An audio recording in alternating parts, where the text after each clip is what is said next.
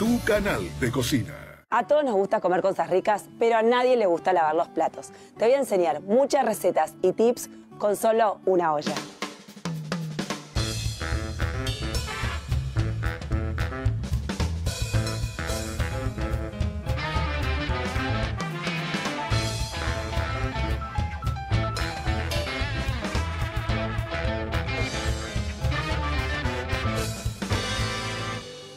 Tres platos para esos días de invierno, cuando hace mucho frío.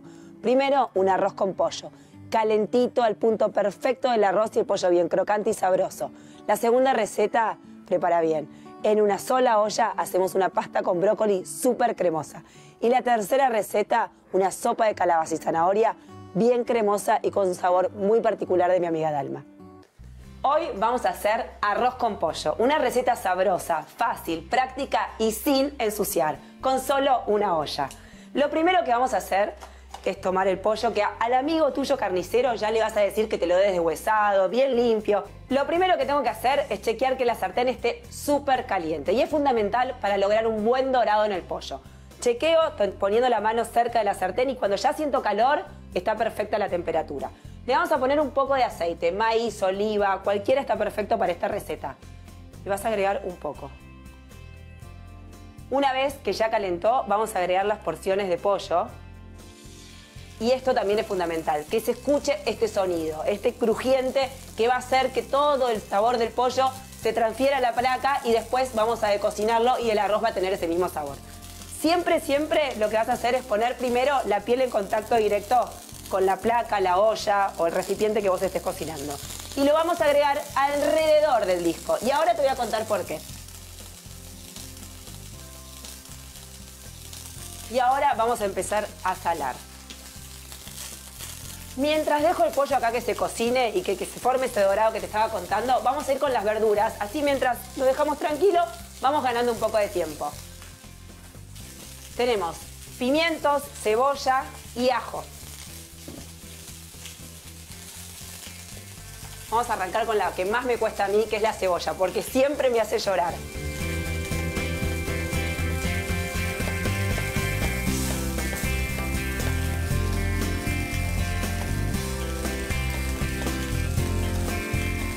Vamos a ir con la otra verdura. Tenemos acá morrón rojo.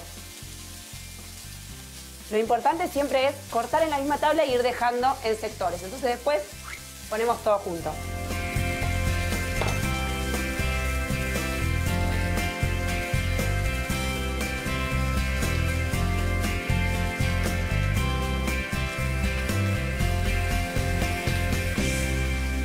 Vamos con morrón verde.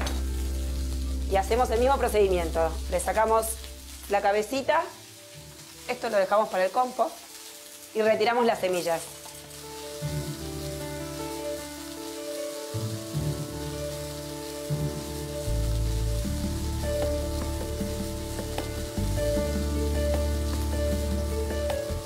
Ajo, fácil, lo aplastamos.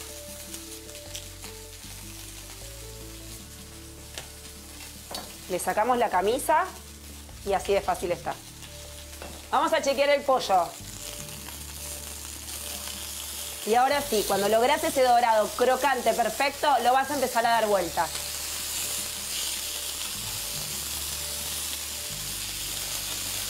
Y ahora sí, turno de las verduras. En el centro vamos a agregar un poquito más de aceite.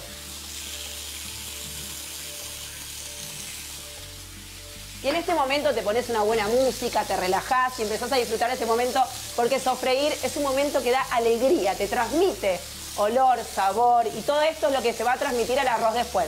Empezamos con la cebolla.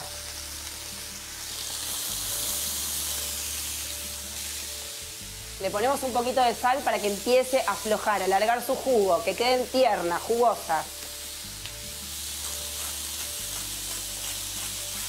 Morrón rojo. Morrón verde. Hay gente que se la complica y que el pollo lo saca, lo pone en un platito, ensucia. Bueno, para que eso no te suceda, lo vas a poner siempre al lateral y en el medio vas poniendo las verduras. Así queda todo el fondo de cocción en el mismo lugar y aparte no ensuciamos. O sea, acá lo que menos queremos es limpiar. Ponemos el ajo aplastado y ahora sí vamos a empezar a mover.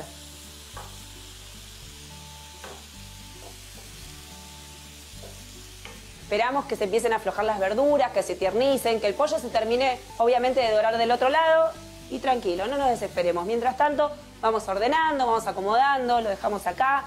Todo tiene su tiempo y mientras tanto disfrutamos de otras cosas.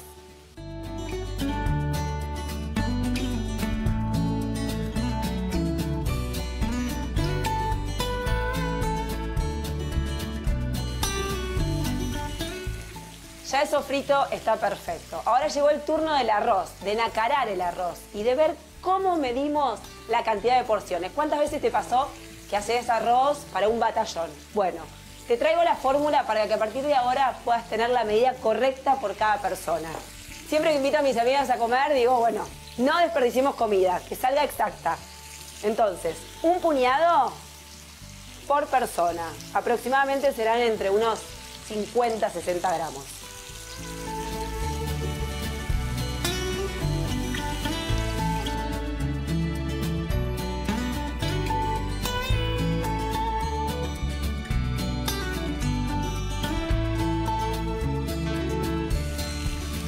Llegó el momento de nacarar. ¿Qué significa nacarar? Decir, ¿qué es este fieso? Es justamente empezar a dorarlo y que empiece a tomar todos los sabores que generamos acá en el fondo de cocción. Y ahora esto, lo molestás un ratito de un lado hacia el otro, empieza a transparentarse el arroz, toma otro color. Y cuando ya lo nacaraste, llegó el momento del líquido agua que siempre debe estar caliente, si no bajaría el fondo de cocción. Así que esto es súper importante. ¿Cuánta cantidad de agua? Otro dato que tenés que tener súper presente. Acá, salgo yo. Hasta cubrir.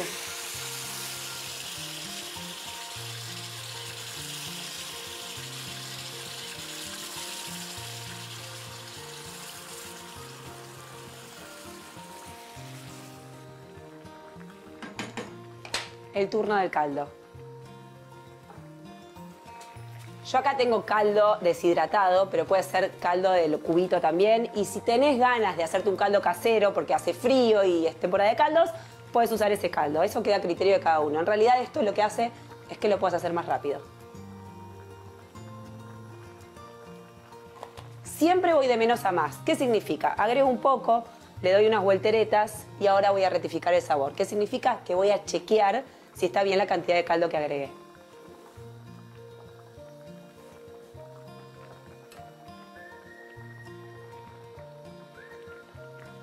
Ahora a fuego bajo, no tan fuerte, vamos a dejar que esto se termine de cocinar con su tiempo, que el arroz empiece a chupar todo este caldo, pero llegó el turno del tomate.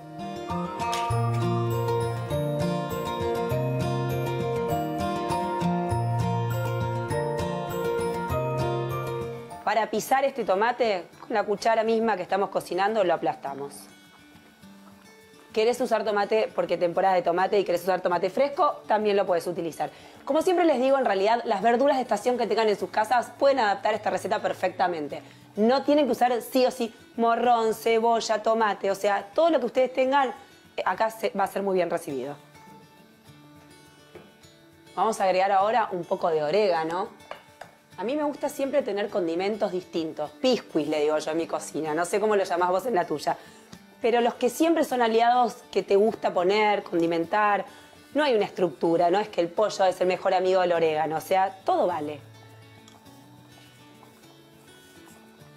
Pero bueno, el orégano me gusta mucho. Otra cosa que me gusta mucho es la pimienta. Así que le vamos a agregar un poco de pimienta molida.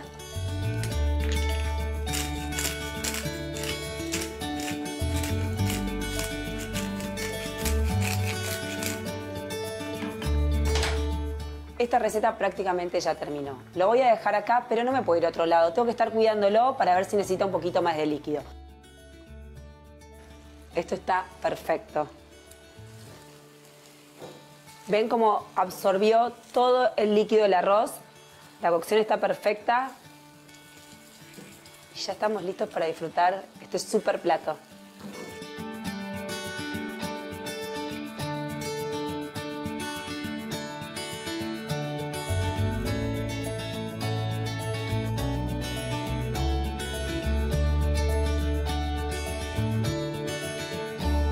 Vamos a hacer pasta con brócoli.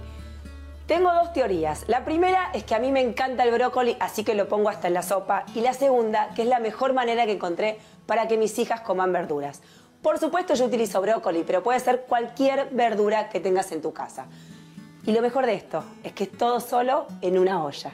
Lo primero que vas a hacer es calentar, por supuesto, una olla y que sea profunda, porque aparte la ventaja de esta receta es que no usamos colador. Se cocina todo junto en un mismo recipiente. Vamos a arrancar con la base de esta receta y que es rehogar cebolla con ajo. Es lo que le va a dar sabor a esta pasta.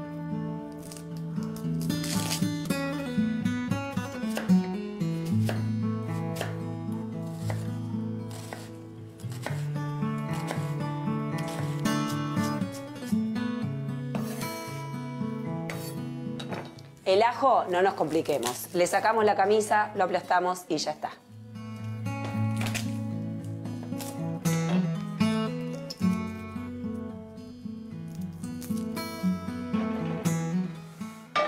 Ahora sí, chequemos que la sartén esté bien caliente o la olla que utilicemos. Vamos a agregar un poco de aceite, maíz, girasol, está muy bien. Empezamos a regar la cebolla.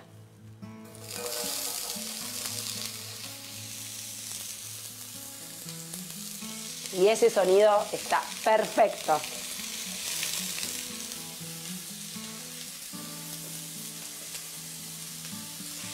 La sal siempre se la agregamos al principio para que la propia cebolla empiece a liberar sus jugos y quede blanda, tierna. Y ahora la dejamos acá tranquila. La cebolla tiene que empezar a transparentarse.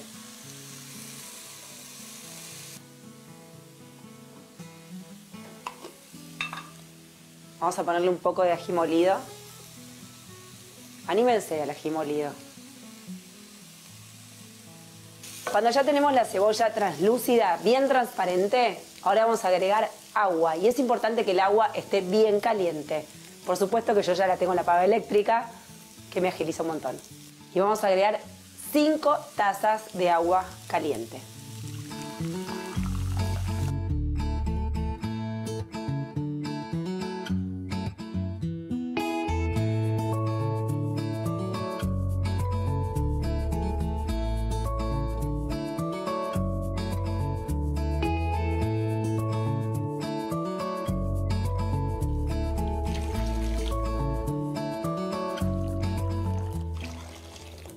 Y esta taza directa al escurridor. Bueno, ya el fondo lo creamos, o sea que esto está perfecto para que tenga mucho sabor. Nos queda la pasta. Yo tengo una pasta corta en esta oportunidad. Voy a usar pene, pero vale cualquier pasta que tengas en tu casa. Y la agregamos. Este paquete dice que para que estén al dente necesitamos 9 minutos de cocción. Pero recordad, faltando 3 minutos le vamos a agregar la vedette de la receta, que en esta oportunidad es brócoli. El brócoli es un producto que lo encontramos en invierno y es importante que esté bien, bien verde. Si tiene partes amarillas, no lo usen. Y también lo pueden frizar, lo blanquean, lo tienen en el freezer y en el momento que quieren hacer pasta lo pueden utilizar. Así que siempre pueden tener brócoli en su freezer. ¿Cómo lo cortamos? Lo damos vuelta y así empezamos a cortarle las flores.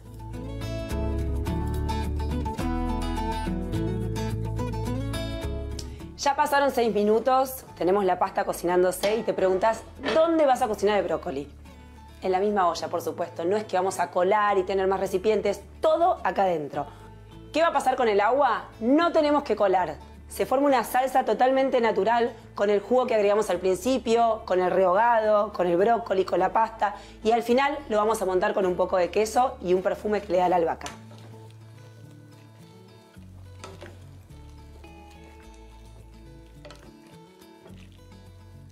Mezclamos y dejamos cocinar hasta completar los 9 minutos. Si te gusta la pasta un poco más pasada, no hay problema, la dejas cocinar unos minutos más.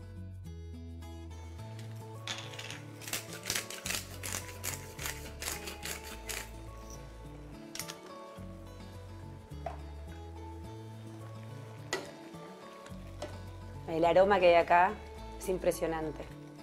Ya casi tenemos lista esta pasta.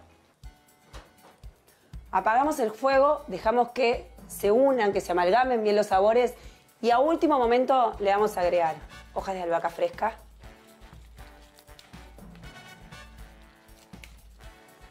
Queso, abundante cantidad de queso, esto lo va a montar y lo va a hacer muy cremoso. Y yo soy fanática porque me parece que le aporta una frescura extra, ralladura de limón.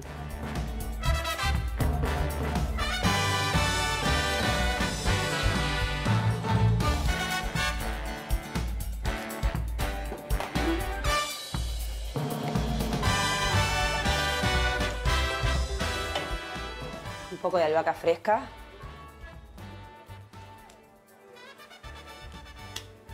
y buena cantidad de queso rallado.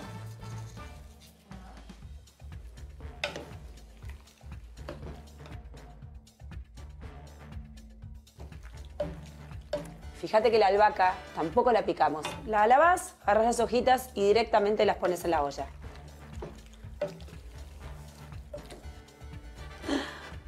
Por Dios, esto ya está. Así que me tenté y voy a probar.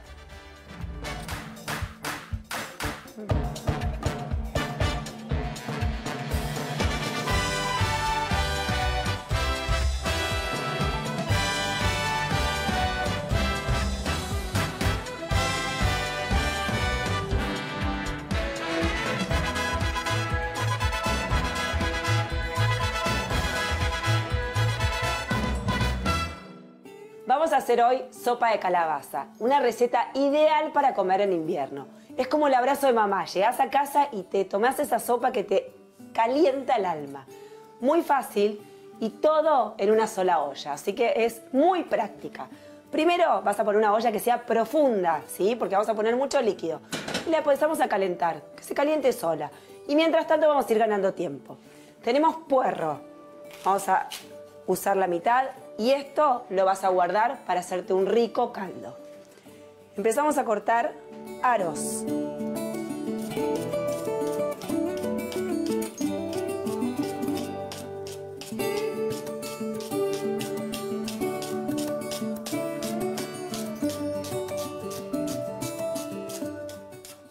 Si cortas un poquito de lo verde, por supuesto que también está bien. Siempre chequeando que la olla esté calentándose. Sin tocarlo en el fondo, acerco la mano y voy viendo si empieza a tomar temperatura. Le voy acomodando todo en un sector, así tengo la primera verdura ya cortada. Esta sopa de calabaza me la enseñó mi amiga Dalma y tiene muchos secretitos que se las voy a ir compartiendo. Tenemos entonces la olla ya caliente. Agregamos un poco de aceite de oliva o aceite de maíz, es indistinto lo que tengan en sus casas. Vamos a agregar un ajo y sacarle la camisa.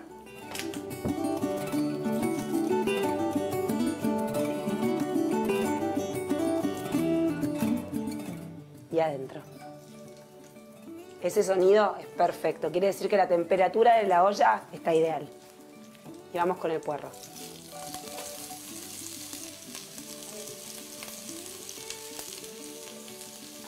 Vamos con un poco de sal. Mientras dejamos rehogar el puerro, vamos a ponerle jengibre, uno de los ingredientes secretos para esta sopa de calabaza.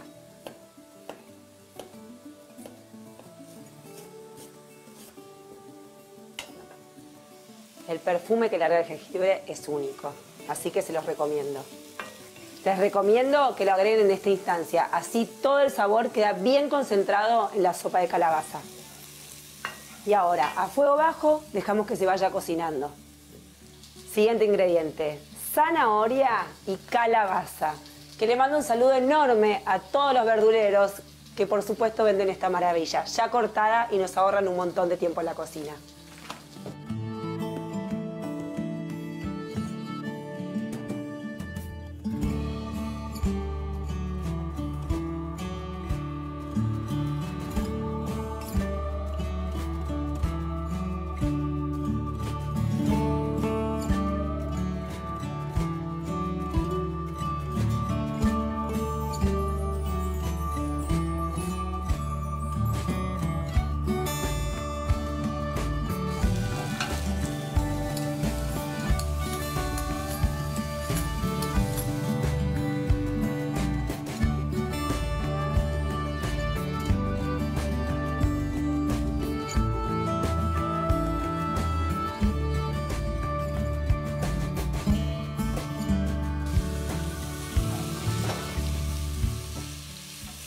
Por supuesto que vamos a usar toda la calabaza, va a quedar bien cremosa.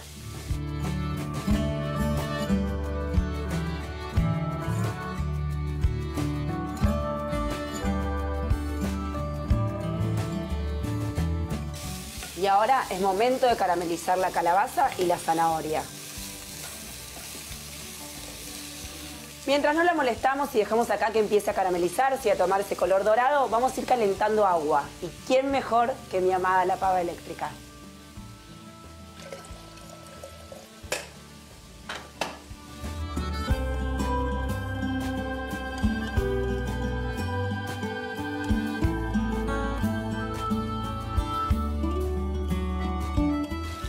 que tenga buena cantidad de agua, porque todavía nos falta un ingrediente, que es la papa. ¿Y qué va a hacer la papa? Nos va a dar cremosidad, le va a dar cuerpo y estructura a esta sopa.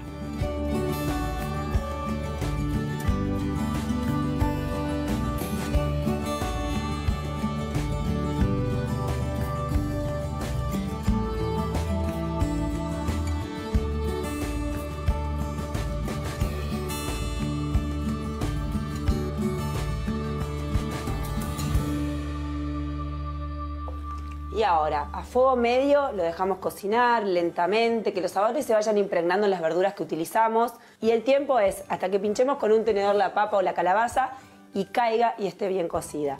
La cantidad de líquido siempre es relativo. Puede evaporarse más, menos y depende de la consistencia que vos quieras. Si la querés más líquida, le vas a agregar más caldo o agua y si la querés con más cuerpo, vas a dejar que se reduzca un poco más. Cuando podemos pisar la papa o la calabaza, quiere decir que la sopa ya está lista. Vamos a esperar que baje un poco la temperatura y la vamos a procesar. ¿Por qué la procesamos? Porque quiere una textura suave, cremosa, lisa. Si no la querés así y la querés un poco más rústica, también lo puedes usar. Procesamos todo acá, no queremos ensuciar nada más que solo una olla.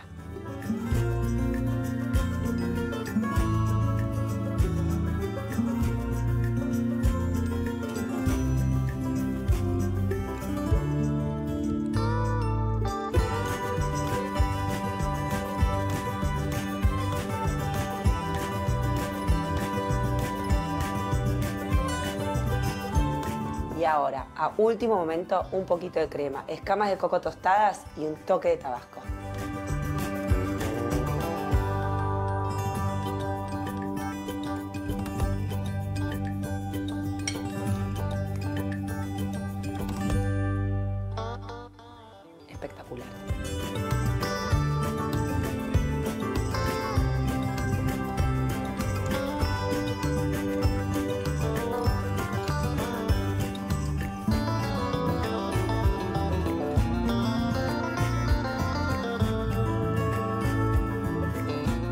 Cocinamos tres recetas ideales para el invierno. Empezamos con un arroz con pollo con unos ingredientes que te aseguro que los vas a querer volver a probar. La segunda receta, en solo una olla, brócoli cremoso con una pasta al dente muy rica. Y el tercer